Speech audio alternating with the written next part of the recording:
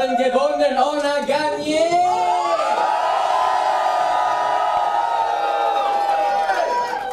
Herr Heckli, was bedeutet für die Schwulen, Lesben und Bisexuelle in der Schweiz das doch sehr deutliche Ergebnis heute? Es ist sehr schön, dass das Resultat auch so deutlich herausgekommen ist. Es freut mich wahnsinnig. Und es zeigt ganz klar, dass sich die Schweizer Bevölkerung gegen Homophobie wehrt und dass sie für Akzeptanz für Lesben, und Bisexuelle einsteht. Das Gesetz das ist jetzt äh, durchgekommen. Trotzdem, es braucht auch eine Umsetzung.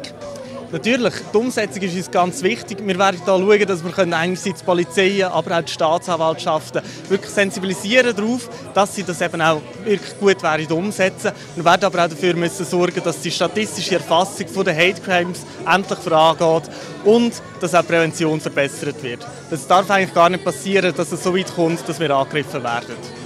Sehen Sie das Resultat auch ein bisschen als Wandel? Es wird in nächster Zeit weitere Abstimmungen geben, zum Beispiel die Ehe für alle. Spüren Sie da einen Gesinnungswandel in der Bevölkerung?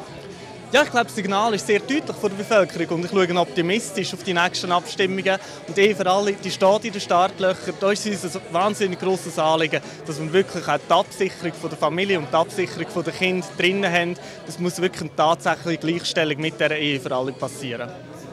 100 personnes possèdent la moitié des richesses du globe. Simple. Tu seras toujours à un ou deux numéros d'avoir le dans l'ordre.